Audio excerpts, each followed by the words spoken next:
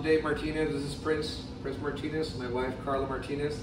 And the reason we brought Prince to Bulletproof is because he was a rebel. He wouldn't listen. Uh, he would, uh, you know, just do all kinds of uh, naughty Crazy things, stuff. crazy stuff, and naughty things at home. And uh, we came here, and they uh, showed us all the commands, and you know, he is someone else. You know, he he learned all the, all this uh, commands, and he's a civil uh, civil dog now.